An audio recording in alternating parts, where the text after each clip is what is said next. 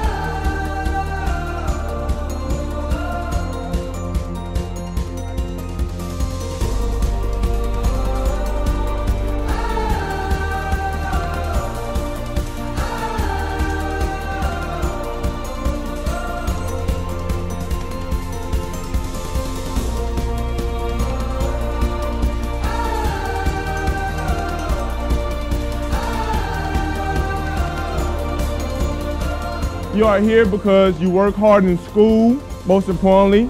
Two, you're part of a great organization in the Boys and Girls Club. Remember, continue to dream forever, and you can do anything you put your mind to, okay, guys?